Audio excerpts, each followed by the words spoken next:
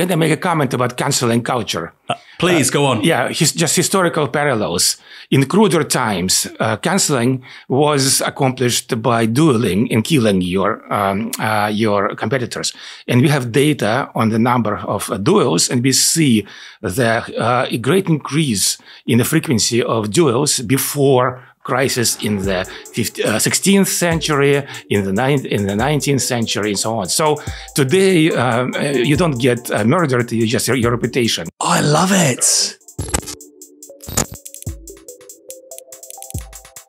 The last 15 years has seen an extraordinary amount of political instability in the West. Whether it's the rise of Donald Trump in the US or Brexit here in the UK, we have seen event after event which, frankly, nobody predicted. Today's guest is Peter Turchin. He's a historian, but he's also someone with a background in applied mathematics. And he thinks that the events we've seen in recent years are merely the leading edge of something far bigger. And he knows that because he can draw on 200 plus case studies of social breakdown, civil war, and revolution. So what we've seen in the last decade, 15 years, could that really be the beginning of something far bigger? Civil war in the United States, for instance. Huge questions, a huge book, and one hell of a guest. Peter Turchin, welcome to Downstream. Thank you. Big question to start with. Can you predict the future? I don't think so. Uh, the future is essentially unpredictable, but uh, what we can do we can uh, try to bring about a better future for us. So you can't predict the future? I don't think so. But you can have a pretty good idea about what's going to happen. You talk about these broad patterns across time and you can you can broadly foresee highly plausible outcomes. Is that a better way of putting it? Okay, let me step back and tell you that uh, we have we are working on building a science of history, which we call cliodynamics. And as part of that, we have built a large database of past societies sliding into a crisis and then emerging from it. And what we found in brief is that the road to crisis seems to be quite channelized. It's like a valley with pretty uh, uh, uh, vertical um, uh, walls, and the ball has no place to roll but down. But then once you get to the crisis, you get to the cusp and suddenly uh, a whole uh, suite of different avenues opens up to you. So when I made the prediction in 2010 about the United States experiencing crisis in 2010, we were still in that narrow valley and the ball was still rolling there. Mm. And now we are where all suite of different opportunities opens up. And, we, and I know that uh, this is a very difficult to predict, maybe even impossible.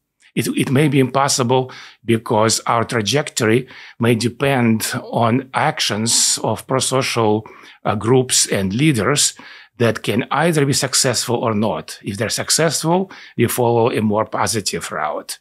If they are not, uh, we can go all the way to collapse and uh, complete disaster. So the whole future is open for us. So this includes things, and we'll talk about this in a while, chaos theory, the unknowability of complex systems and whatnot. But what you're describing here, right at the top, is basically like when you go bowling, if you're not good at bowling, you have the, you know, the, the sides up and your ball can't go out. But that doesn't necessarily mean you're going to get a strike. So it's not inevitable where the ball's going out. But like you said, it's going to basically stay in the lane. This thing about crisis, however, and how we're on a trajectory potentially towards crisis in, in the West. I mean, in, in your book, you talk really about the United States. You, you touch upon other polities in the West. What are the what are the trends that we see right now? Let's stick with the United States, which could mean that it's headed towards potentially things like civil war, revolution, state breakdown. What, are the signs that mean that's at least plausible? Yes. Uh, so one common feature uh, of the road to crisis is the condition that we call elite overproduction. So let me explain that. Elite, who are the elites? This is the small proportion of the population who concentrate the social power in their hands. So think about the 1% United States, you know, the Mandarin class in Imperial China or mm, military nobility in medieval England, for example. So the elites concentrate social power in their hands, and uh, whether societies get into trouble or not, how dysfunctional or functional they are, depends primarily on how functional the elites are. So the next question we want to ask is why do elites become periodically dysfunctional? What we see in history that even though we live in these really nice, uh, complex societies which are capable of delivering high quality of life for all, right? Periodically, these systems break down. Inevitably, in the in the past, at least, hopefully not in the future, uh, societies get into end times. So why? The elite overproduction is uh, the problem. Because when you have too many uh, people um, competing for too few elite positions, some competition is good, but excessive competition can be very destructive because uh, the social norms start to break down because some of the losers don't want to accept their uh, the results and they're willing to challenge the system. They become counter elites who, da, who actually are the revolutionaries, they're the civil warriors, and so on and so forth. So, can you give some examples of elite overproduction which has led to a revolution or civil war? Yes, uh, let's take uh, medieval England, if you would. So, uh, in the 14th century, uh, the medieval England was ruled by essentially a military nobility. And what happened was that the Black Death came and uh, took off almost half of the population, except the most of the population affected were the peasants. All right. So uh, suddenly you had too many nobles for too few peasants to, uh, to feed them and to support them. And so what happened was that uh, England went into a century long period, actually, of internal warfare. It was first uh, started in the 1380s. Uh, the king was disposed. There was a huge peasant rebellion, Wat Tyler. There was a huge uh, insurrection in Wales. So talking about the War of the Roses. Uh, at the, at the then there was, a, there was a, there was a quiet period, and then the War Wars of the Roses started 50 years later. Yeah. So by the time that Wars of the Roses were over in 1485 or so, you know, uh, it's been almost a century mm. of internal um, um, instability. And so, what other examples do we have of this? Obviously, because you're somebody that talks about big patterns over history. So, 14th century England is one, 14th, 15th century England is one. What, what are others? Uh, essentially, as I said, um, we have gathered now uh, close to 200 cases of, uh, of past societies sliding into crisis. And um, it's uh, uh, elite overproduction is uh, essentially a universal feature of the pre-crisis period when you get too many elites uh, and they start fighting eh, amongst themselves, the societies become dysfunctional and they slide into crisis. So you talk about other examples in the book, for instance, um, uh, antebellum United States, pre-Civil War United States. Uh, that was actually, for me, that was probably the most interesting part of the book because juxtaposing the composition of the southern states, what became the Confederacy with the North, you know, I didn't realize that the Confederacy had the vast majority of the ultra rich. You know, today's oligarchs and 1% were very much concentrated in the South, and yet we view the, the North as a more sort of developed capitalist state. In our heads today, those two things go side by side, but they don't have to. Another example you give um, is uh, China.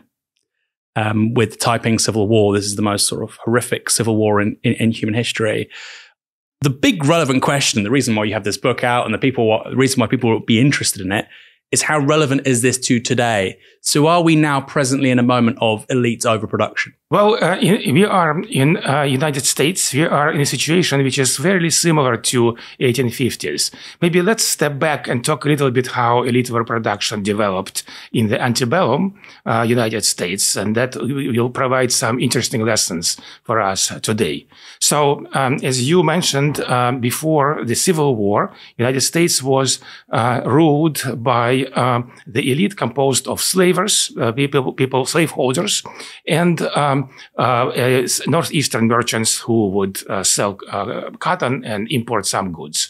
So two thirds of the wealth in the United States was in the Dixie, south of the Dixie Mason uh, line. Two thirds of the wealth. Two thirds of the wealth. Wow. Yes. Uh, and then what happened was, and here we need uh, to um, invoke another important mechanism that helps to explain, for example, why elite overproduction develops. I call it the wealth pump. It's the perverse wealth pump that moves the uh, wealth from the uh, workers, from the common population to the elites. So um, the wealth pump got turned on around 1830s in the United States. Partly this was the result of massive movement from the rural areas, which got overpopulated at that point, like the state of Connecticut, where I live, right, uh, to the cities, partly massive immigration from the overseas. And as a result of that oversupply of labor, the price of labor or the wages started declining. And so, of course, when the economy continues to grow, it, it, grew quite rapidly then. But the portion that went to the workers declined. That uh, wealth had to go somewhere. It went to the economic elites. And we see suddenly there were fewer than 10 uh, millionaires around 1820. By 1850, there were over 60. Suddenly, you have this new wealth. And most of these wealthy people were in the north and northeast and their interests uh, uh, um, uh, diverged from the interests of the ruling elite uh, in a variety of ways. And so, and also they wanted to convert their wealth into political power. And so that essentially led to the crisis uh, that turned that turned into civil war in 1860s. So the, the sort of the, the, the basic normie reason why we have civil war in the United States, what 1861 to 1865, is that, you know, the, the noble North wanted to abolish slavery.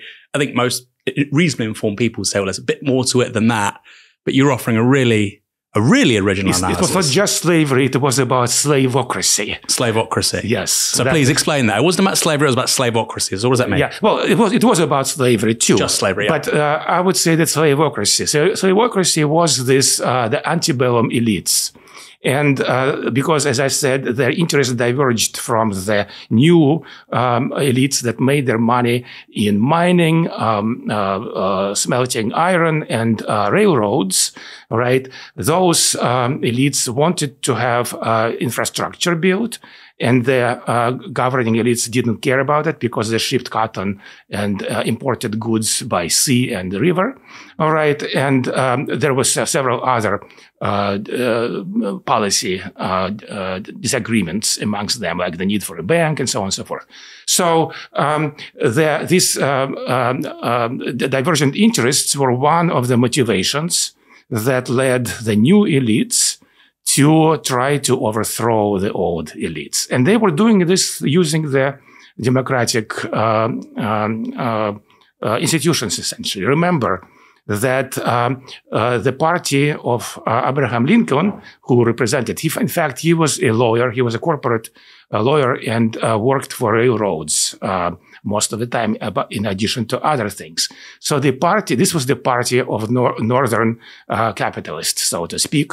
They came uh, to power in a legal way. And then what happened was the South, the old elites rebelled against that. They decided to separate. So that's how things led to this very bloody civil war. I love as well the way you talk about Abraham Lincoln is really funny for me because he lost more elections than he, he won.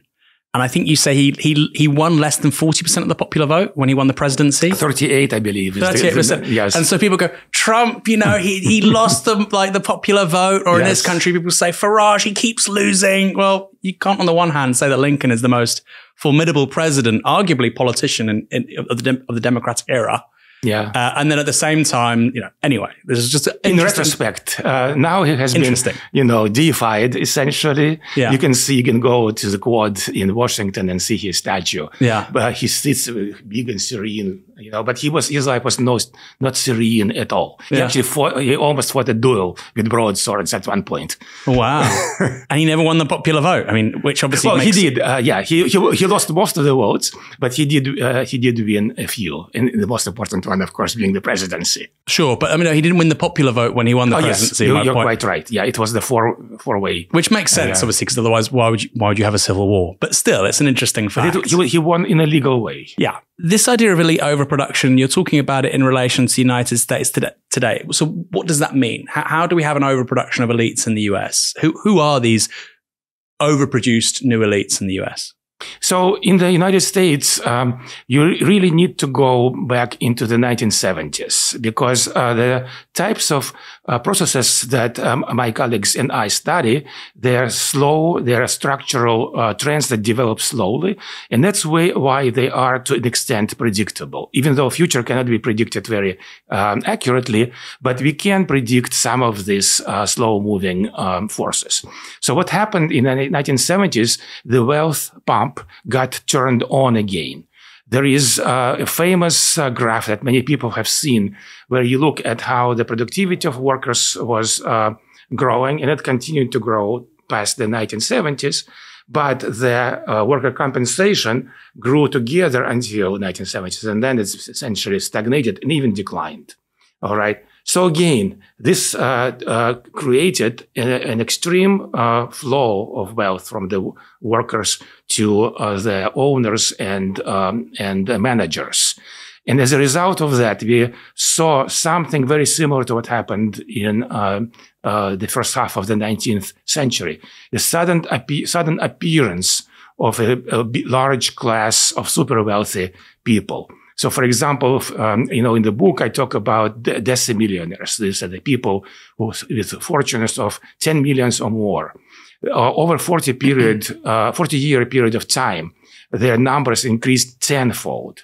I mean, this is pretty remarkable uh, thing. So this is what uh, this is one of the two important aspects of elite overproduction: the uh, production of newly wealthy people, many of whom wanted to translate their wealth into political power. Again, think Trump, but not only him. Um, and so that created a huge pool of candidates for um, elections at various levels. And we see this, uh, that there is, uh, we see uh, this greater competition uh, because, you know, if, there, so if the supply of uh, some good stays constant, but demand for it grows, the price of the good goes up. And so the cost of elections uh, have been growing since the 1990s, reflecting this particular trend. And the more, um, the more um, uh, elite aspirants, the more uh, elite wannabes we have, the more of them uh, are frustrated because uh, not everybody can get a position. And as they're frustrated, they uh, become um, willing to challenge the rules of the game. The, Trump is also a good example in that. The elections of 2016 were really wild elections. He was breaking all the rules, and he was and he was gaining. Uh, in uh, in votes. Politically, he was breaking all the rules. Yes. You mean, yeah. Oh, yeah. Exactly. We'll, we'll, get to the conspiracy theories about whether or not he broke, you know, legal rules. The, your definition of the elite, and it was just, this was so helpful to me, is you basically say it's the 0.1 percent so not even the 1%, you know, the 0.1%, like you said, the super rich or the 0.01% plus the 10%. So upwardly mobile professionals who do really well out of the wealth pump. You know, they're not the Zuckerbergs and the Jeff Bezoses, but they're, you know, the affluent Californian lawyer couple who both went to an Ivy League university and have done That's really, right. really well out the last 30 years. And that is the, that is your definition of the elite. So I had a question really for you, framing the US here against the UK, because we've had a really different 15 years to the US in this country. Since 2008, we've had very little, well, per capita, no economic growth fundamentally, zero productivity growth. And you've not seen a growth of the super rich in this country. What you have seen is a, is a shift in the economic model um, towards rentierism. And in this country, for instance, we have around, I think, two and a half million buy to let landlords. Mm. So, and, and that increasingly is how people feel affluent because they have a property which is gaining in value because asset wealth is being, like you say, part of the wealth pump. And you have an immiserated working class, but you don't have you don't have the ultra rich like you do in the US. And and, and therefore these 2.5 million, you know, buy to let landlords, they aren't failed aspirants. They aren't part of that elite. They aren't saying, oh wow, I have this new economic power. It's frustrated because I can't express that politically. Mm-hmm. Or am I wrong? It, or uh, so how, how, does that apply to, for instance, a country where there is clearly a massive upward shift in wealth, immiseration for the working class, but it's not oligarchic like the US. It's somewhere like the UK where you actually have, you know, stagnant growth, rising inequality, but not these avatars like Musk, Bezos, and so on. Well, with the caveat that in order to do really proper uh, dynamic analysis, I have to work through uh, tons of data. I have not done this for UK, so take my uh, remarks with a grain of salt. But let's compare United States and UK. Similar countries, but quite uh, different in some ways. So in United States, the uh, ruling coalition, uh, ruling elites are a coalition between the wealth holders and um, degree holders, essentially. So because one of the routes to get into power is to get a law degree, for example, the most useful degree. Now, um, the uh, wealth holders dominate, really. There is some very good research showing that.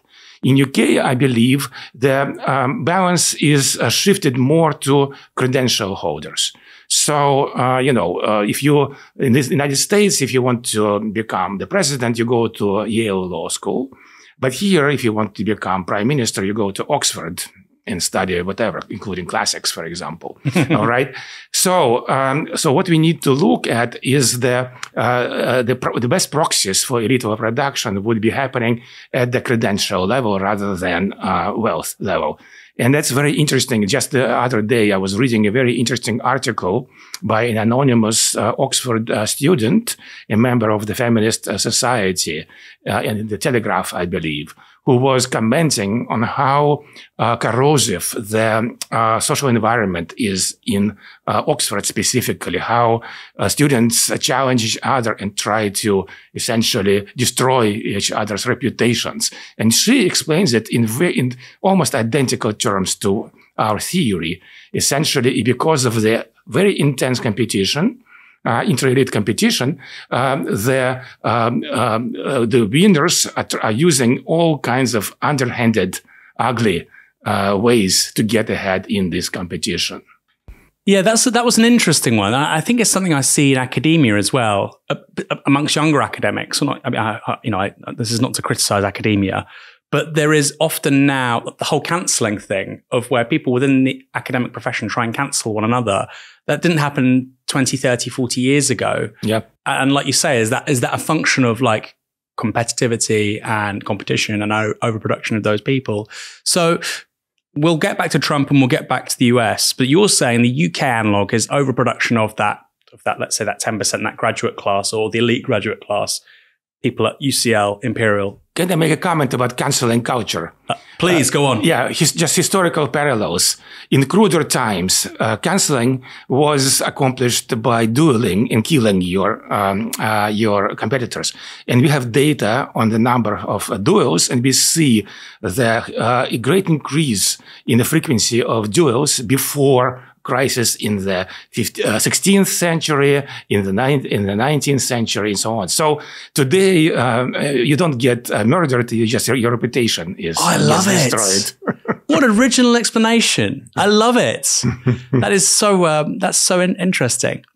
So uh, the analog here, like we say, is the is the overproduction of of a certain layer of graduates. We're not saying that you know people with a business degree at London South Bank are running the country. They're not.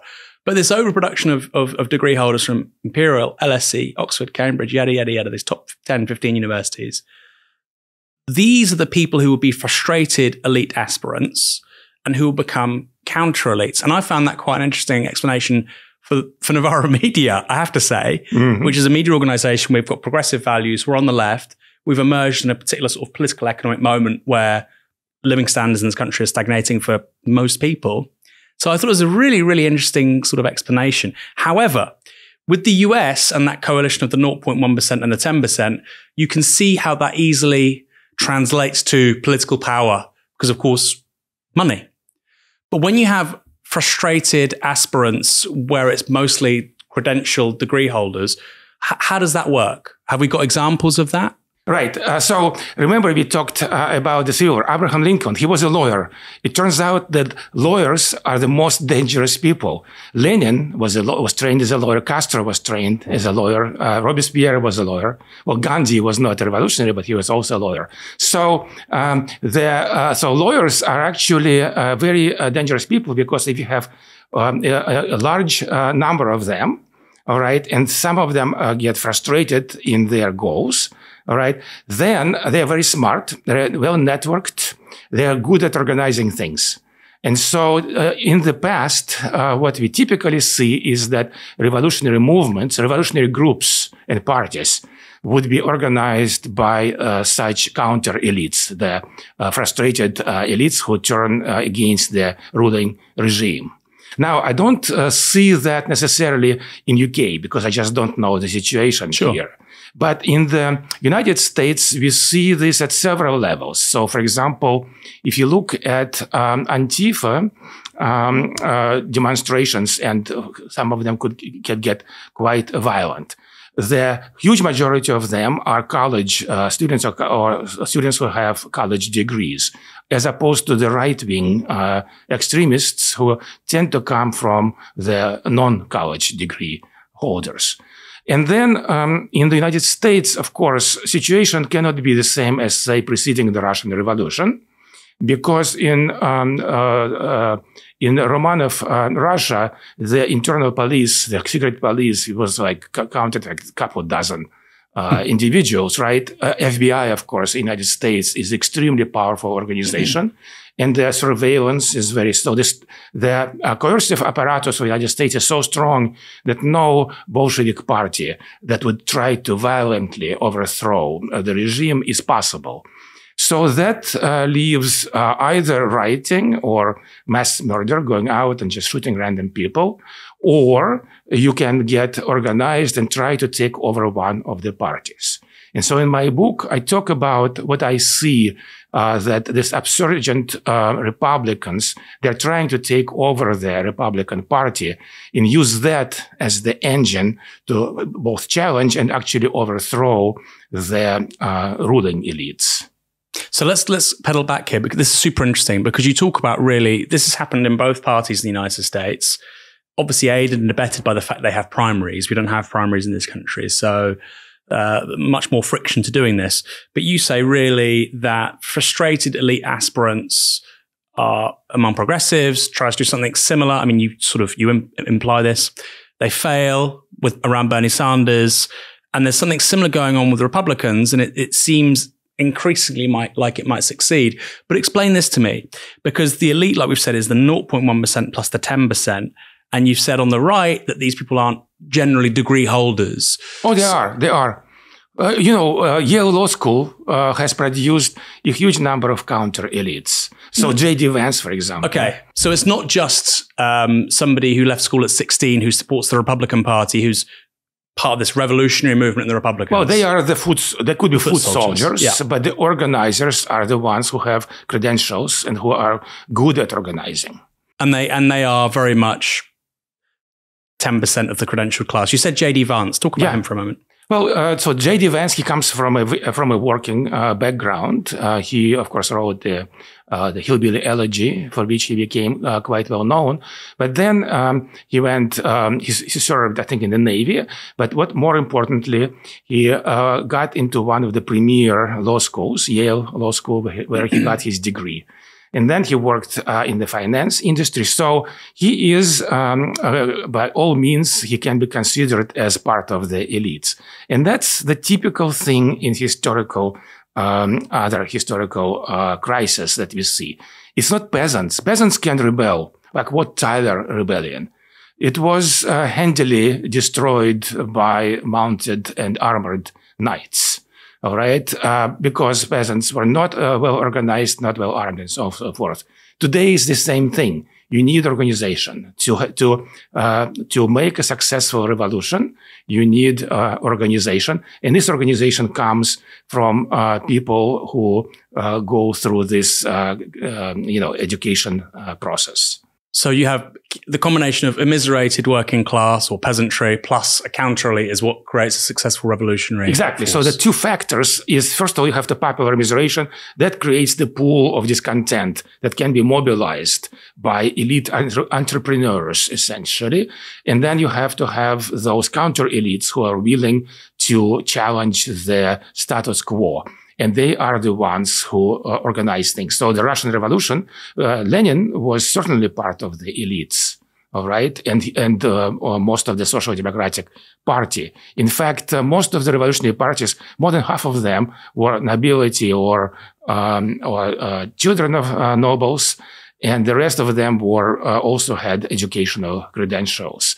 So it was not a worker uh, or peasant revolution at all. I love this example as well you give um, of uh, sort of uh, a Russian equivalent um, of you know a Silicon Valley billionaire giving money to what was the Bolshevik or what would become yeah. the Bolshevik Party. That's Can you right. explain this anecdote? This was so eye opening for me. Yes, exactly. Who was this person? Savva Morozov. He was a very, he was a remarkable person. Uh, he was one of the, I think, 10 richest uh, people in the, in uh, Tsarist Russia. So around 1900 uh, or so. He was the patron of the arts. Um, he, but he also uh, genuinely cared about his workers. So he had manufacturers, you know, producing clothing and uh, he tried to create good working conditions for his workers. He sent them to be educated and so on and so forth. He also, he was a progressive. He wanted clearly to reform the Tsarist regime to make it more democratic and uh, more modern. And as part of that, he was supporting Social Democratic Party. For example, for example, he um, uh, financed the publication of their newspaper. So that would be the equivalent of having, you know, mass media or uh, electronic mass media today.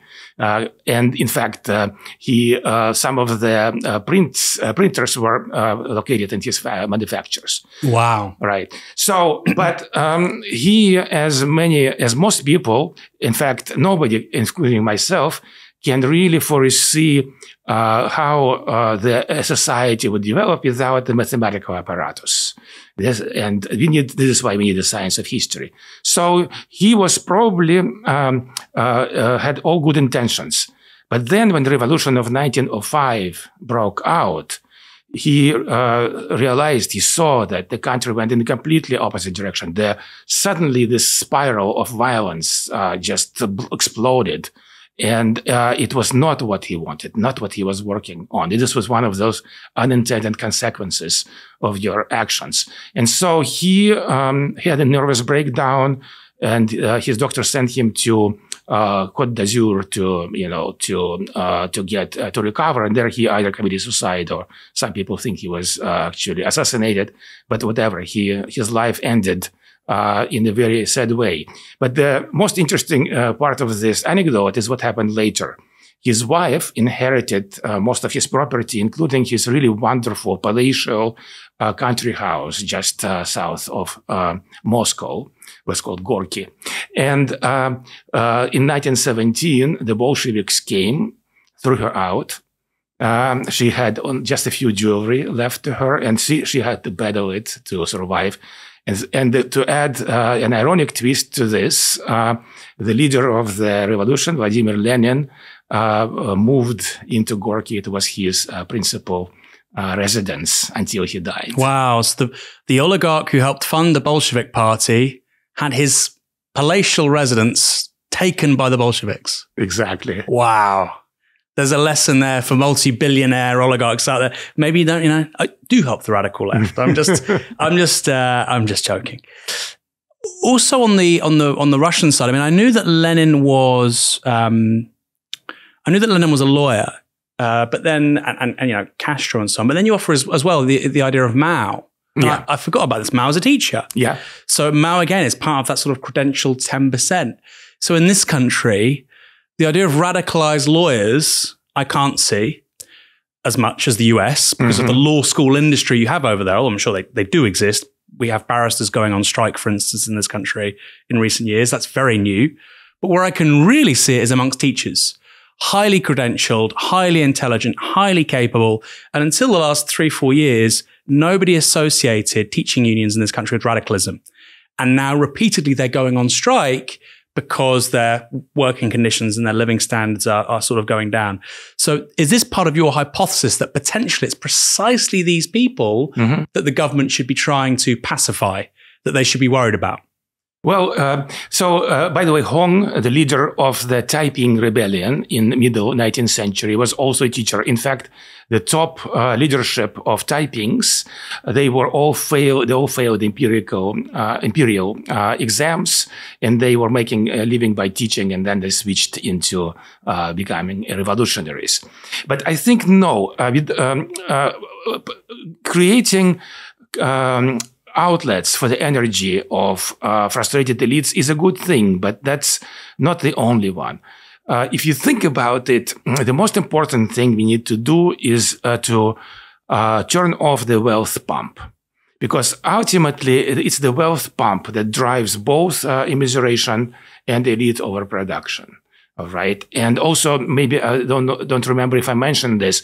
One of the reasons we have, let's say, uh, overproduction of uh, uh, youth uh, uh, looking for advanced education is because they're trying to escape the immiserated classes, essentially. That's why they may not necessarily want to be power holders, but they just want to get into the 10% let's say, so they could have a decent life. But of course, now you have 60% of the US population, uh, or 60% of um, uh, US people who complete uh, high school, they go to college, over 60 actually. Oh, wow. All right. Uh, so clearly, and the, and the return on the college degree has been uh, collapsing over the past uh, 30 years. All right. So yes, finding them good things to do is important. We can talk about it. For example, my pet idea is that um, we love historians. Let's hire more historians to do to, to generate more historical data.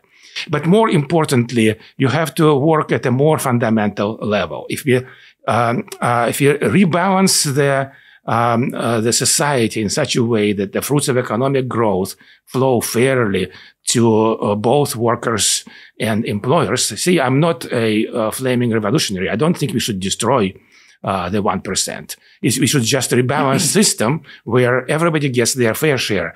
That eventually will stop um, that um, elite overproduction pump also. So it sounds to me, I'll put this in sort of British terms, your argument against revolution, civil war, state breakdown, political instability is social democracy. Mm. That's, that's basically what it is. You're saying adopt the economic model you have between 1945 and the early 1970s and the chances of political instability are very low statistically. With one proviso. So social democracy worked extremely well uh, um, following the in, from the 1920s and 30s, following the Great Depression and things like that. Uh, but uh, hundred years have passed. Our societies have changed, so we should learn from them. But we don't necessarily need to do it precisely the same way. All right. Again, coming, coming back to the common refrain, we need the science of history that would al- allow us to actually have a decently working model for how our societies respond to various interventions and uh, uh, nudges and things like that. So we can uh, calculate the and eliminate the unintended consequences. Mm. All right. So many of those ideas, like increasing the taxes on the wealthy, you know, increasing minimum wage, you know, giving pow- uh, power to workers, that they are probably going to be part of the mix. But exactly how uh, we uh, recondition our society is going to be part of, first of a political process. And secondly, we would need to be able to calculate uh, to predict the consequences of different actions. But here's the thing, and I, by the way, I, I, buy that analysis, and I think it's it's empirically obvious to me. But if you look at Europe, say after the 1960s, historically wealthy, historically egalitarian, and yet there's a huge insurgency of popular unrest. The largest strike in, in European history is in France, 1968. In Italy, you get something approaching a low level civil war, frankly, between 68 and 1977. You know, thousands of, of, of, of, members of the intelligentsia, radicals, some accused of very serious things, thousands of people have to leave the country. So how does that, how does that get explained then, where we have historically wealthy countries, historically equal, and yet actually France, Italy, Germany, the UK, were far more radical civil societies in the late 1960s than they are today. Well, um, so um, in the model that I, in fact, used to project the trajectory of the United States uh, into the future, I used also something known as the youth bulge. So youth bulge is the unusually large number of the cohort of people aged 20 to 29. And these are, they are the most dangerous in terms of um, these kinds of um, instability because uh, revolutions are really made by uh, young people. So what happened uh, in the 19, uh, late 1960s and early 1970s was that we all West, Western societies experienced a very serious youth bulge. And that temporarily depressed um, the uh, salaries of young people because there were just too many of them competing for the jobs. Although at that time, the institutions, uh, pro labor institutions, were still reasonably active in the States and certainly in uh, Europe. All right. Secondly, uh, that obviously created um, extra number of elite aspirants. So that was one of the part of the reason. However, what, what, uh, what was the missing factor was there was no popular immiseration. The right. popular immiseration um, uh, happened that, that the wealth pump tur- got turned on only in the 1970s, and it, it, and it has to, had to work for you know several decades before it would create this uh, so um, if you talk to people who lived, like my um, colleague Jack Goldstone, who is uh, also one of the uh, co-authors of the theory that uh, we are uh, working on, he grew up in California during 1960s. It was, uh, but it was playful in many ways. You know, there is no such desperation, edge of desperation, as he describes it, and many other people. And there was certainly no, uh, there was um, all these college, uh, uh, you know, students who were you know, uh, doing rebelling and doing th- things like that, th- there was no um, uh, response from the working classes to that because. But there was in France. I mean, in France, mm-hmm. you do have a. Well, we'll return to this because I, I, I, buy that explanation. Yeah. But France has a massive strike, millions of people in 1968. Right. I mean, they lose. De Gaulle wins the subsequent election, but there is there is then, you know, industrial action or Italy. You know, Italy, we yeah. see massive walkout strikes in the late 1960s. Yeah, but they were uh, uh, they were not lethal strikes. People didn't get killed. Like uh, in the 1920s, for example, in the United States, uh, there were strikes when uh, dozens of people would get killed. In fact, there was a whole uh, mini civil war in Virginia, in coal mine, in the mines of Virginia.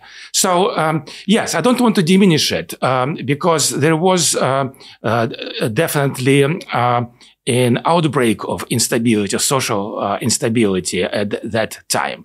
But uh, remember, again, let's take uh, Italy, Brigate Rossi, right?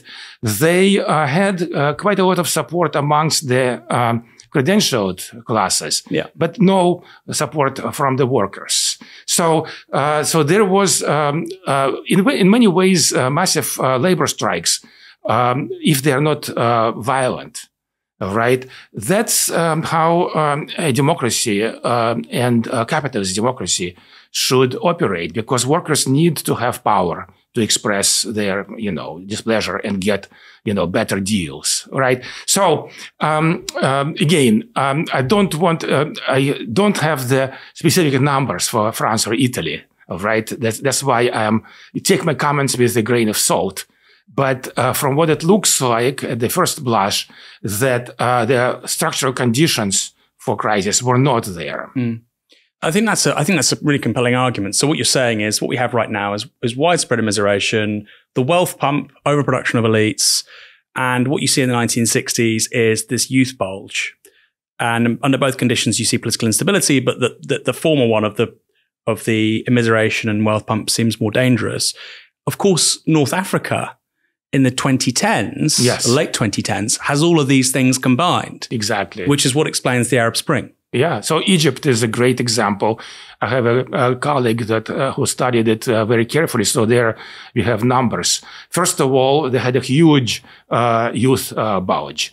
But on top of that, um, in, during the 1990s uh, and early uh, 2000, they quadrupled the number of college graduates and there was no um, there was no increase in the jobs for them to um, uh, to uh, take. So the rural uh, uneducated youth supported the uh, Muslim Brotherhood, but the primary move uh, moving uh, force, the, the, troops, revolutionary troops, were those college graduates that had no jobs.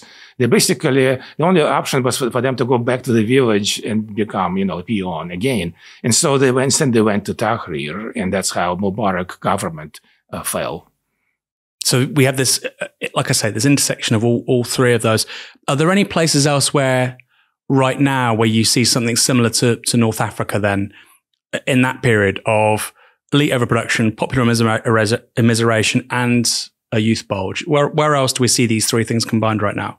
Well, in, in the United States, we had a, a, smaller youth bulge because they tend to follow the generational things. Uh, but it sort of peaked during the late 20 teens. So right now, it's declining. Because millennials were a youth bulge to an extent, yeah, right? Yeah. yeah, that's right. Because uh, it's like a shadow reflection of the baby boomer mm. uh, generation. But um, in terms of um, uh, future youth bulges, uh, uh, what uh, what is um, a positive development, in fact, is that birth rates have been collapsing, even in places where you would not think they would, like India, for example, Iran. All right, so there's still um, it's still happening in Black um, Africa, in South. In sub-Saharan um, Africa, and that's where um, we would uh, we should see a lot of uh, uh, political dysfunction. Uh, in the next, but that's of course uh, easy in easy pre- prediction yeah. in many ways because yeah. So someone like Nigeria has, I think, a median age of like sixteen. That's right. You know, so this is basically like a highly likely it's place. Bomb. It's a population bomb. Yeah. Interesting. Yeah. Um, do we live in a democracy? You said that elites will always exist. So, you know, it's, it's a platitude. We say, right, we live in a democracy. Well, do yeah. we live in a democracy? In the United States, no. Um, I, I, as I argue in my book, United States is a plutocracy. Thanks to uh, political scientists uh, such as Martin Gilens, in particular, who have done um, an amazingly uh, in a lot of uh, work uh, um, to cut the long story short, they, they showed with huge amounts of data that if you take the pre uh, preferences of the, uh, they divided the uh, uh, American population into deciles. So if you take the lower nine deciles, 90% of the population, take their uh, preferences uh, and try to see whether they have any influence on the legislation uh, and uh, policy uh, that's adopted in Washington. Zilch, nada. it's uh, and it's probably it's not ten percent. It's probably just that you don't have data to refine it very closely. It's probably the top one percent. It's really top one percent that drives all the uh, political decisions in the United States for reasons which are any sort of obvious once you start thinking about the, how the political process, how the sausage is made, you know, mm. in the United States. All right. But they have shown with numbers. Uh, this um, uh, this particular uh, result.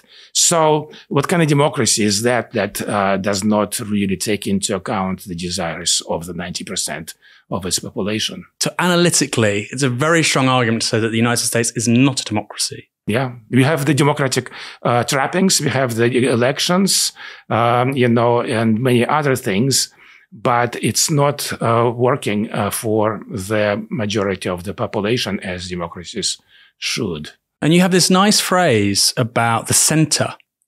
You know, we hear about the center a lot um, in this country at the moment, obviously post Brexit and but really after the 2010s, a very sort of politically volatile decade in, in, in the UK.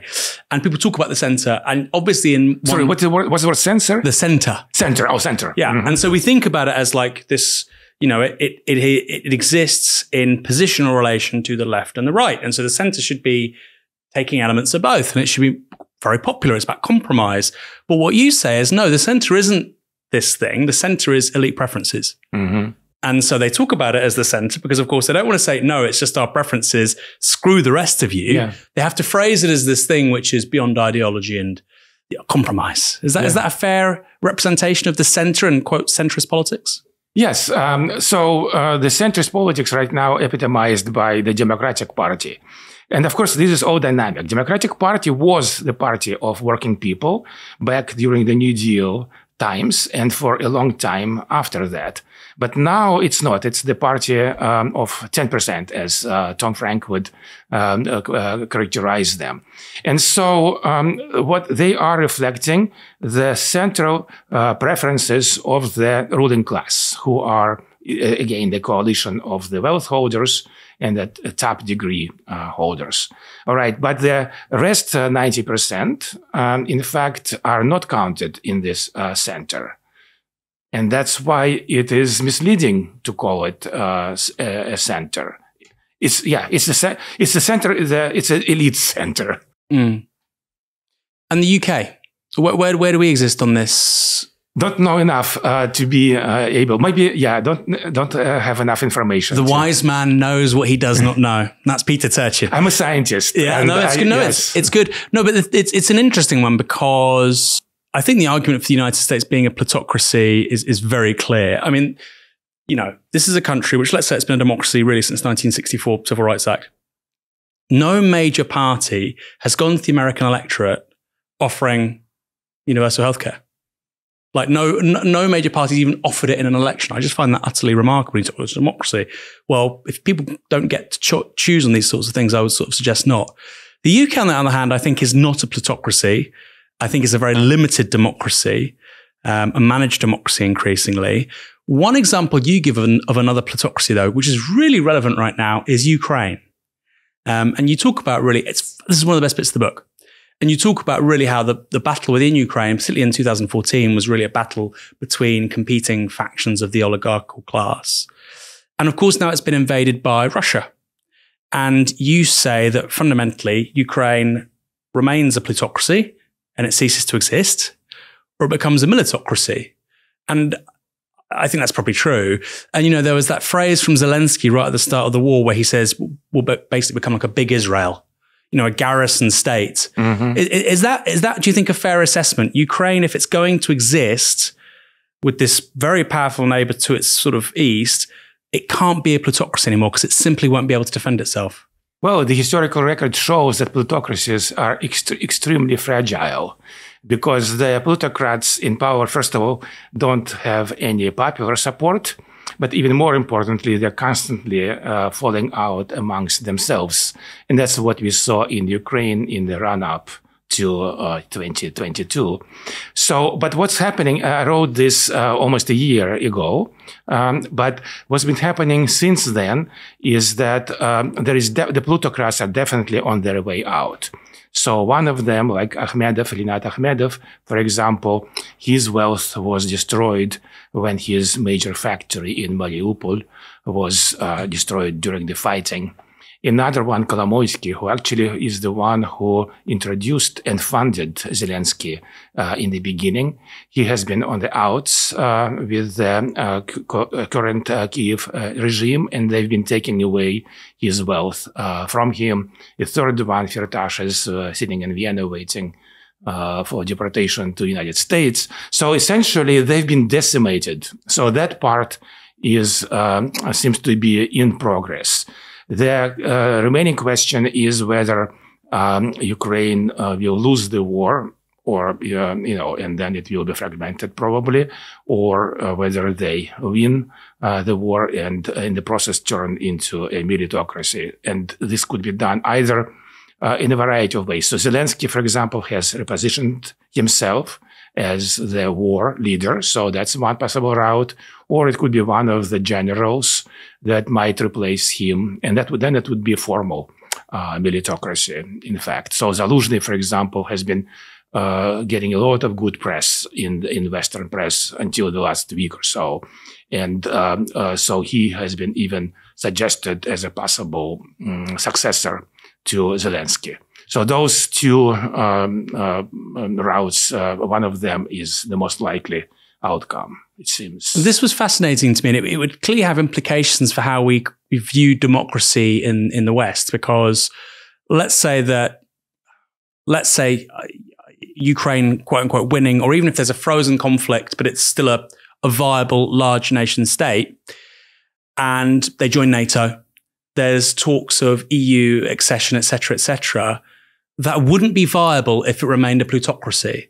And all of a sudden, that brings into question some of the sort of core assumptions about Eastern and Central European integration into the European Union, doesn't it? Yeah. I mean, that could change the whole debate around what a, a Western democracy even looks like if it has to have militocratic elements.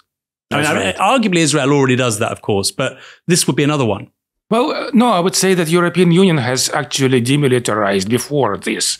And that, and that I believe has been a good, um, uh, that has been a good development because uh, demilitarization decreases the chance of war and also decreases the chance of really uh, destructive uh, wars. And um, very uh, one of the um, this is a terrible situation what we have in Ukraine because literally hundreds of thousands of people are getting killed, right? But it also is horrible as how it affected the European Union because it is now remilitarizing. They're planning to build uh, new factories, uh, increase the uh, military, and so on and so mm. forth. This is uh, all bad, um, you know, trends going in the wrong directions, in my opinion. But there is the argument that, and, and you sort of make this in the book, that wartime mobilization or, or or the aftermath of awful conflicts often give rise to you know democratic moment. So we see it after World War One, for instance, across the European continent. Obviously, after World War Two, you know, so so you don't see the possibility of a bigger share of the economic pie going to workers alongside remilitarization. I'm not vener- I'm not venerating remilitarization. I agree with the many downsides of it. I think war's awful, etc. I'm not arguing for it, but there is there is a potential argument where you start to see a more egalitarian political economy going hand in hand with remilitarization. Or do you not yeah. do you not buy that? Well, I have another book. It's called Ultrasociety: How 10,000 Years of War Made Us uh, into uh, Wealthy Societies and uh, Good Societies. So, uh, in that has been that's the empirical finding that uh, competition between societies, which until recently and even now has been taking the form of warfare, has been um, a major driver of cultural and social evolution. But I end that book uh, by because I am committed. Uh, I am against war you know, and we can get the same type of evolution um, of, of prosociality and, co- and cooperation without killing people. Competition is important, but you know, after all, uh, uh, firms compete in the market, right. And when a firm, uh, you know, goes bankrupt, uh, people uh, working for the firm don't get killed, right? They go working for some other firm. So that's uh, my model. We should, we need competition between societies, but what we need to do as the humanity as a whole is to put that competition into non-violent forms. And that has been happening uh, partly. The United States, so the Soviet Union, for example, the country where I grew up, it was not conquered, uh, did not collapse as a result of war with the United States or anything. It lost uh, competition in providing a high quality of uh, living for its citizens all right. And there was, it was more complex, uh, complex story than that, but it essentially uh, collapsed uh, as a result of losing competition um, in providing, you know, uh, the well-being. Uh, and so that's, that seems uh, to me a good model. and also a big um, factor behind the Arab Spring. The populations were there. they were demanding that the governments would become more functional and better at uh, uh, providing good life uh, broadly shared. So I see, and I hope maybe this is not, I don't really see it. It's my hope that we will evolve to the point where we can abolish wars and put competition, which is good and necessary, into much more productive channel. Why did Donald Trump win the 2016 presidential election? What's the explanation there? Um, that's um, uh, the two the, the, two structural factors: popular immiseration and elite overproduction working together. So Trump is one of this cohort of uh, wealthy uh, people who wanted to translate wealth into power. So he's one of those huge extra number of millionaires and uh, even billionaires who have been uh, entering the political scene. And how did he, he get um, to power? He mobilized uh, the population, the immiserated population that has been left behind by both parties. Well, uh, the Republicans have traditionally, well, traditionally in the uh, uh, recent history have been the party of 1% right? The Democrats made the transition from the party of the working class to the party of 10% of the credentialed uh, class. And so there was nobody representing the, let's say, the um, uh, majority of population who don't have college degrees and whose um, uh, incomes have been, uh, sorry, his wages uh, have been declining. Uh, in fact, in absolute terms. All right. And so, uh, so they are the ones who, mm, who, who um, voted for Trump in large numbers. And that's why he got many of the Obama Democrats because, you know, he um, uh, capitalized on uh, that pent up uh, uh, discontent, popular discontent. And the, the, the, the, liberal argument from the coast, they would say, Peter, how could you say this? Um, and, and, and some of it's true. African Americans, for instance, who are the most immiserated by the wealth pump since the 1970s, they still vote Democrat um, in, in, in 2016, more so in 2020, but of course, Joe Biden wins. Right. So, and also it's important to say in 2020, I mean, Trump gets an enormous number of votes. I think 75 million. He loses, of course, but that, and, I suppose, and that's after COVID mm-hmm. and so on. And uh, so is that because of immiseration or is there something, I mean, deeper going on? You know, uh, a lot of American social scientists or commentators would kind of point to sui generis arguments about the US. They would say it's about whiteness. About whiteness. Mm-hmm. The wages of whiteness, the loss of white privilege, concerns about becoming a minority majority country, which I, I think there's probably something to that, right? In the 2060s. But you don't you don't buy those explanations or you don't think they're as significant as others do. Well, race is a very important part of um, both American history and culture. It's a very big factor in politics. So I talk about this in the book. But uh, getting back to Trump, um, one um, important group of um, um, of, uh, of um, population in United States is the Latinos that you uh, might want to take into account. So, um, um, on the at the first blush, uh, Trump should not do well with Latinos because he's a bigot uh, and so on and so forth. But we know that uh, over the past uh, four or five years, Latinos have been increasingly switching to Republicans, and in particular um, in uh, to voting for Trump. And even amongst the uh, African Americans, uh, there, there there is an increasing. It's not it's not still the, the majority by any means, but the increasing minority that are actually becoming for Trump. So he is appealing ahead of 2024 potentially. You mean? Uh, well, uh, even um, by 2020, right? You know, so um, uh, he has been making inroads into all those. And of course, it's not just immiseration. Remember the divisions amongst the elites. So the Democrats, for example, are uh, uh, uh, were quite divided, especially in 2016 when Bernie should have really got a nomination, and there was all kinds of, uh, you know, um, um, uh, um, uh, uh,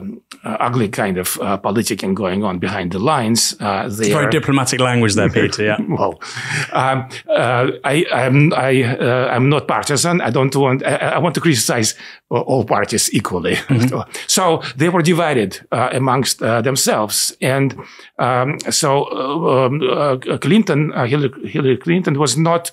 Um, a candidate who would appeal to even um, uh, uh, workers who traditionally voted for Democrats. All right. So, so these are the types of uh, divisions uh, that um, that also had a very important explanatory role in the rise of Trump. Are the next 80 years going to be like the last 80? Uh, and this is something I've really thought about a lot because the, the last 80 are just, in so many ways, so unique. You know, people talk about the great acceleration and our relationship to the planet unprecedented in our 200,000 year history. Population boom. You know, uh, my grandmother's died. She was born in 1926. She was born in a planet with 2 billion people. She left the world. On a planet of 7.5 billion people. So, so much has changed. And I, and I think part of the reason why we have political elites who are incapable of addressing problems is because, for the most part, the last 50, 60, 70 years since the Second World War have been good. Yeah. And they presume, and it's a cognitive bias, right? The past was good, therefore the uh, the future will be good. So I, that's the question, really. Do you think the past is a good indicator of the future in terms of political instability for the West? In, not directly, because I'm against making direct uh, historical analogies with any particular uh, events in the past. That's, that's very amenable to cherry picking uh, and other problems. But um, the uh, models uh, that we have developed and tested on historical material, right? They are capable, in fact, for uh, helping us understand where we are and where we can and where we should go. So you're quite right. You know, we had the 30 glorious years, as the French uh, often uh, call them, the past um, uh, World War II. And, um, and, but this is, this is typical. Societies, uh, all complex societies, our data show, they experience this alternating periods of integrative versus disintegrative phases. Roughly speaking, century, but it actually is variable. Uh, so it's not uh, pure um, mathematical cycles. It's more a boom and bust type of dynamics. Anyway, what happens after a society has for a long time experienced internal peace and order, the elites um, who uh, the elites who have seen the previous period of a disintegrative, uh, they have died off or retired, and the new elites forget the lessons that were learned. And then uh, there is a great temptation to re reconfigure the economy in ways that would benefit them. And that's how they turn the wealth pump invariably in the past. So in the future, we have to learn how to prevent this from happening. All right. And so, um, what will happen um, in the next uh, 80 years?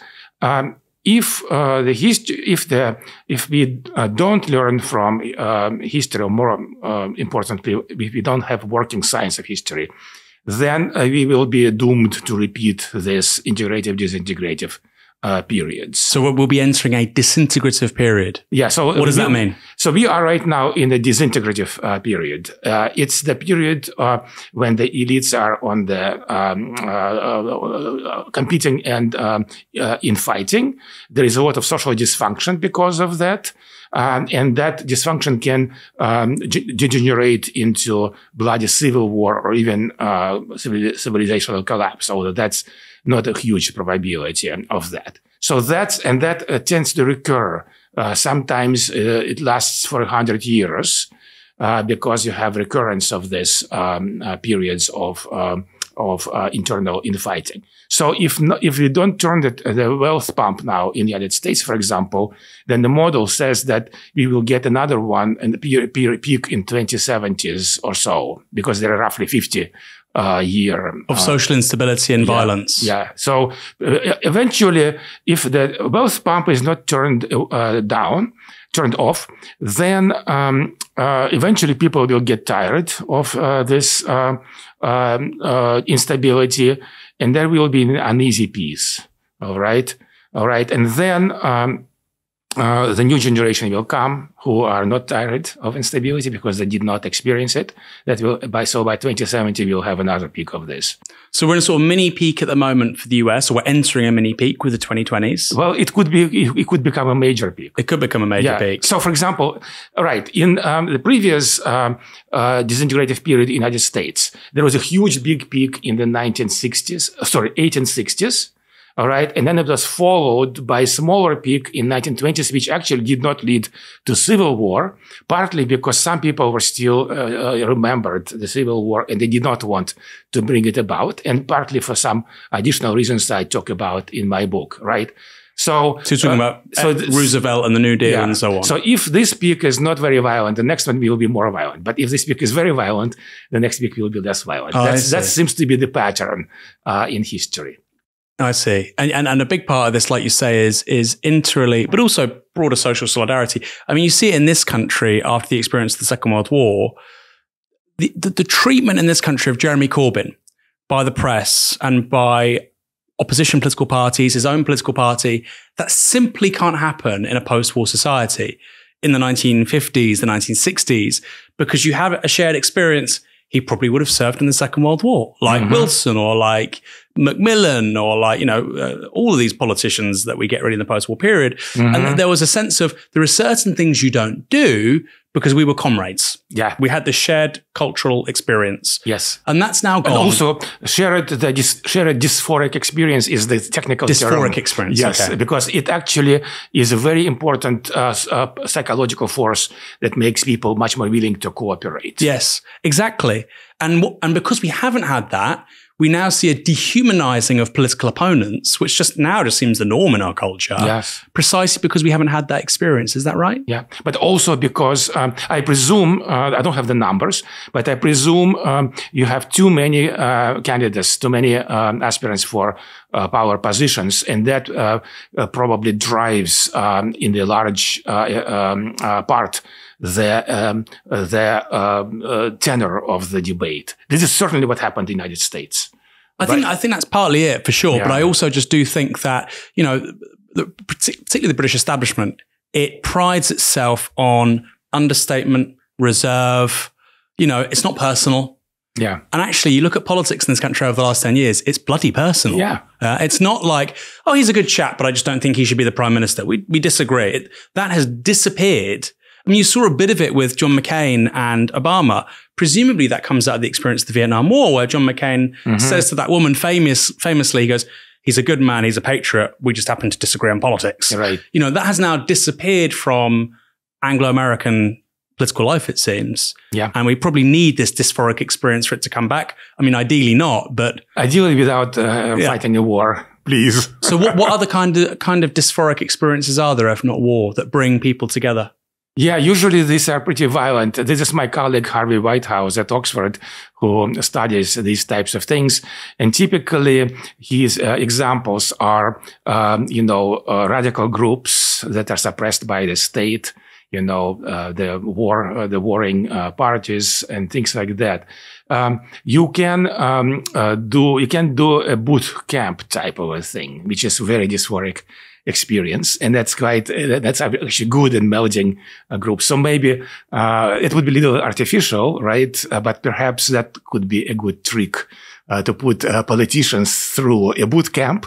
So they national can, service. They can, they can bond, yeah. you know, and then they would probably not uh, behave so nastily yeah. to each other. National service, but yes. just for politicians. Yes, exactly. National service and uh, national service is a very good idea as a um, as an alternative to the army because you don't train people to kill.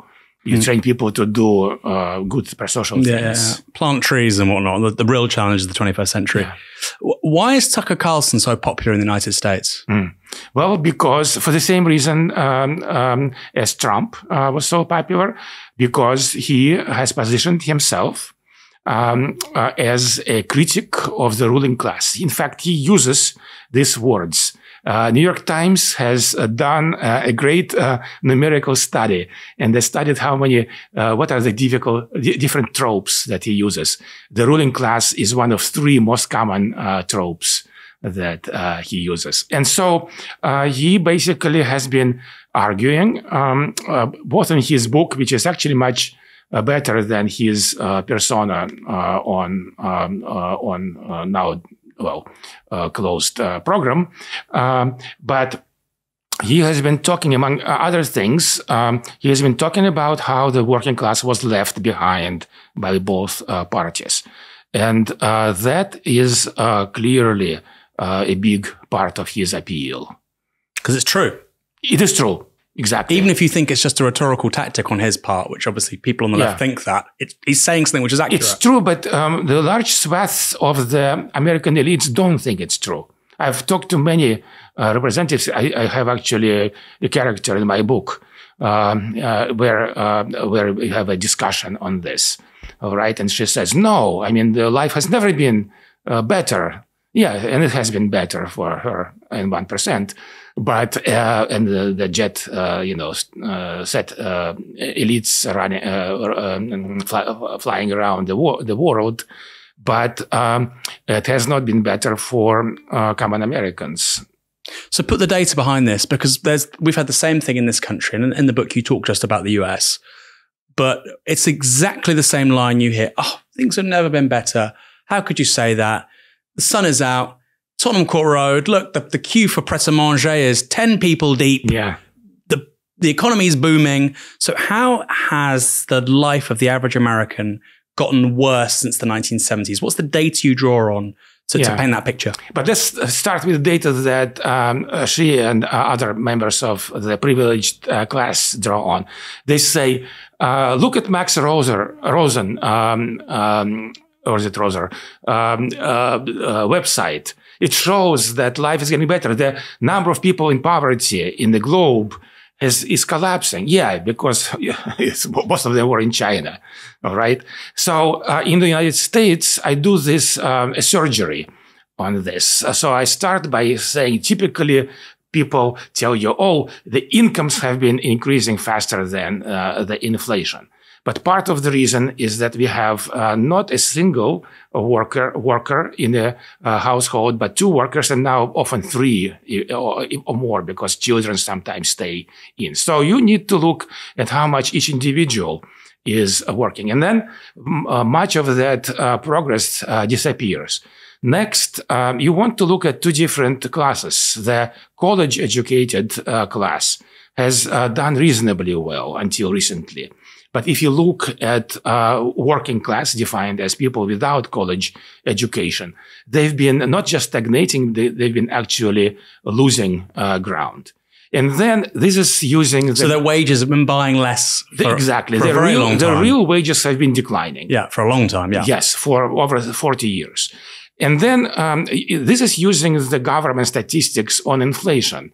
And it is very opaque. We don't know what uh, precisely they include in the basket. In fact, they have uh, several different measures, uh, two different measures of inflation that don't necessarily agree with each other. But if you look in a simple-minded way, let's think about what if you're working class, uh, what do you want to do to feel good? You want to buy a house, right? You also want to give a college education to your uh, children. Well, um, you have to, uh, compared to 40 years ago, a working class family had to work 40% more time for, to get a house. And they had to work four times as long to get, to put people through college. Four times. Though this is, uh, this is uh, what uh, losing ground. Yeah, I mean that's really a very means. That's a very high rate of inflation for the for the biggest investments out there, right? Which Exactly. is housing and education. Yes, yeah, exactly. Education has been exploding because there is a huge demand for it. Mm. People, people want to escape precarity, all right, um, and move into the ten percent, and so large numbers of them flock to colleges.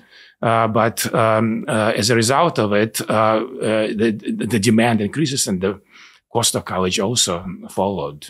So so people like Donald Trump, Bernie Sanders, in this country, Jeremy Corbyn, to a lesser extent, Boris Johnson, he didn't really say it as much, but somebody like Dominic Cummings, that their political sort of platform is based on saying, life's gotten worse for most of you. We hear you. Um, and to a significant extent, liberal political elites are still resistant to that. Not entirely, it should be said. I mean, there's clearly a, a change in the Biden administration to, you know, the Obama administration, right? They talk a lot more about trade unions, the importance of growing out of the middle of the economy, and so on. Um, but there's it's still very gestural, isn't it? Sort of liberal elites still don't really. When I say liberal elites, I mean the people that really control the progressive parties in the US, the UK.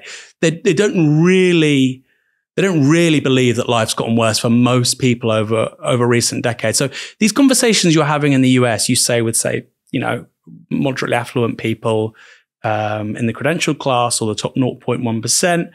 There, there's not really a change there, or are they beginning to understand what's going on? Have some of these people, you know, these lawyers or these tech CEOs, have they read your book and gone, mm-hmm. oh my God, Peter Turchin, he's onto something?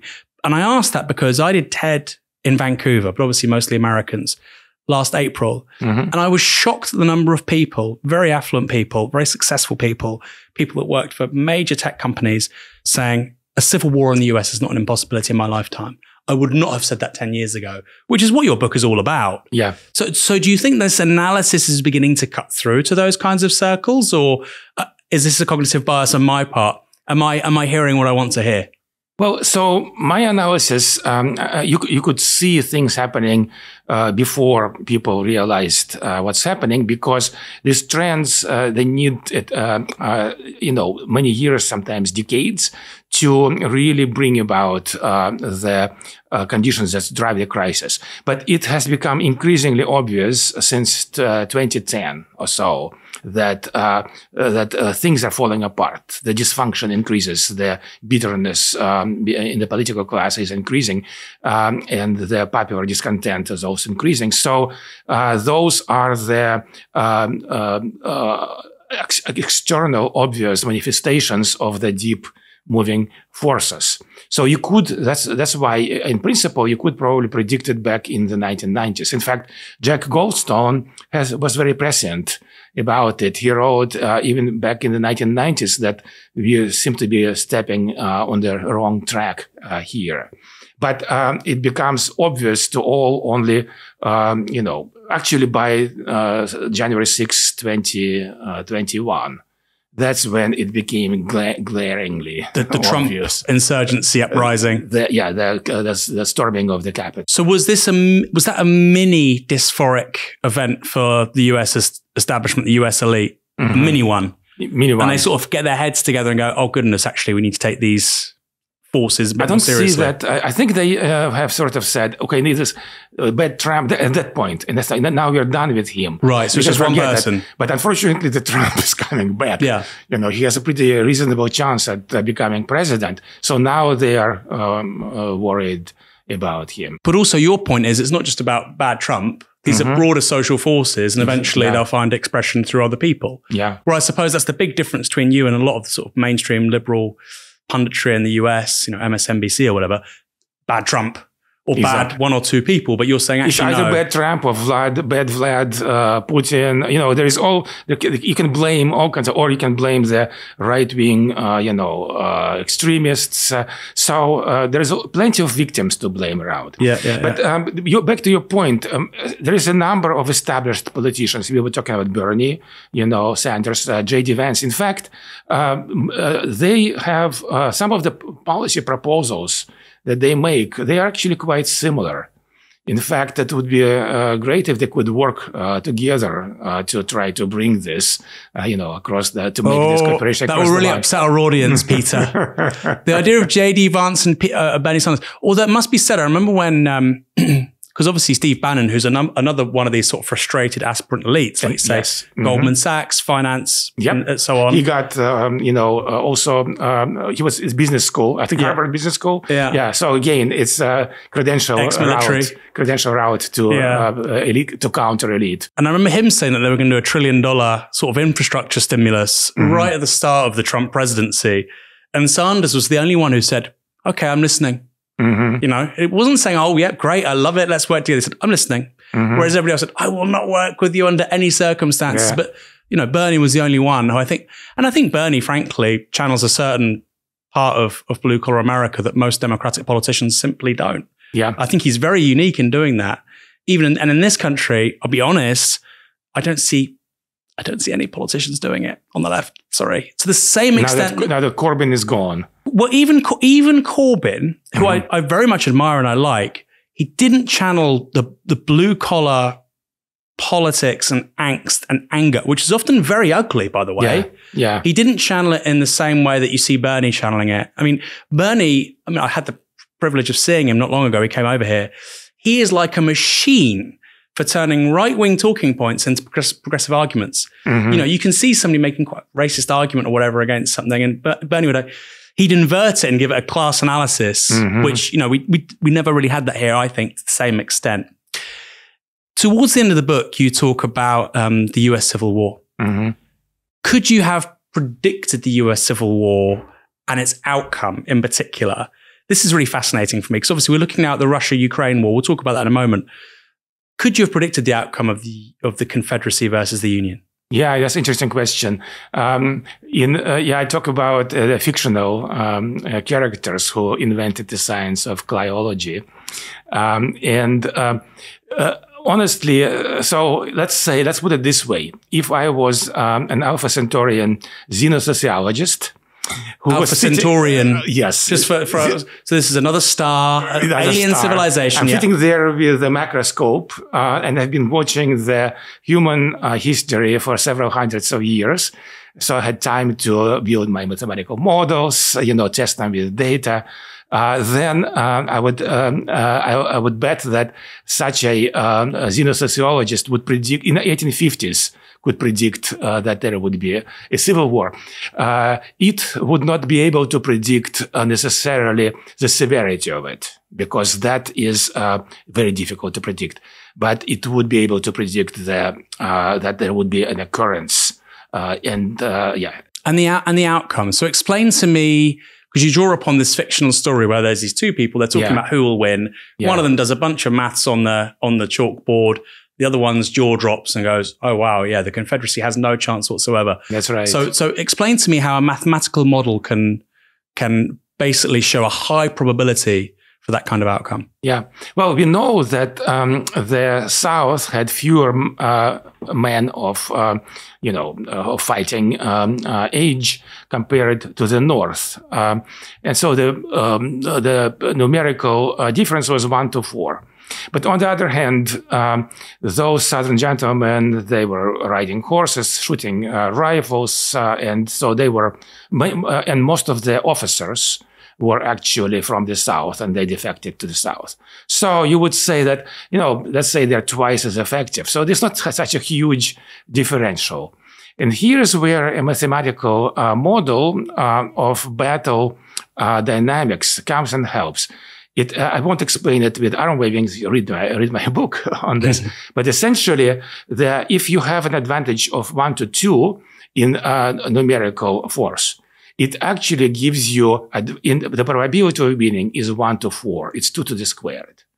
That's uh, that's what that's that's uh, non-obvious in South but it follows directly. Once you uh, read the details, you will see how it works. And so that means that the North had a much, much huger advantage over the South. And I'm not even incorporating yet the details that all the major industries producing arms and ammunition. They made like 30 guns to every one gun the. South made. Of course, the Southerners were importing yeah. um, a lot of those, running the blockade and so on and so forth. So, so it becomes a more complex model, but it is very hard to overcome that. So the one to four advantage is actually one to 16.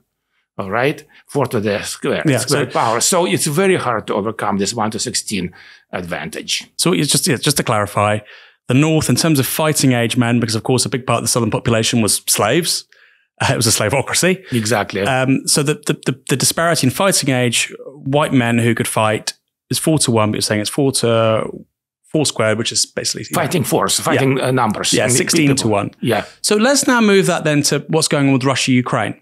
Yeah. And I suppose we could also talk about historically Vietnam, China. You know, there have yeah. been, or, or Finland, Russia there have been many wars where you have a massive power which can't defeat a far smaller right. one. So, so what explains is that only that does that prediction only hold under the conditions of say total war and mass mobilization? What what explains that? So it's um, this uh, uh, calculation does not uh, include the um, uh, the uh, uh, the degree of resolution for fighting. So United States, for example, won the Vietnam War. Of course, uh, in, in, that um, war, we would have to take the logistics into account. It was much more difficult for United States to supply troops and so on and so forth. But still, it was innumerably more powerful. But it was a war of choice for, for the United States. It was a war uh, of survival for Vietnam. Now, in uh, Russia, Ukraine, uh, the situation is similar to the South and North. Uh, the one to four advantage uh, for um, uh, Russia, and and furthermore, Russia has a military industry which has been actually put into high drive.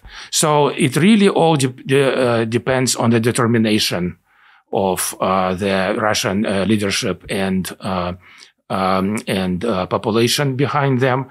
And of course, uh, I certainly hope that it will not lead to World War III because of course, NATO can can come in on the Ukrainian side. So what, you, what you're saying is something like resolution is something which is unquantifiable. there's some things which are uh, maybe they're quantifiable, but not given the present state of our science. I think that's a great place to leave it on. Somebody's looking at these big patterns through history, through numbers that says right now we still can't quantify certain things. Peter Turchin, the book is amazing. Thank you so much for joining us on Downstream. Thank you very much. Enjoyed our conversation.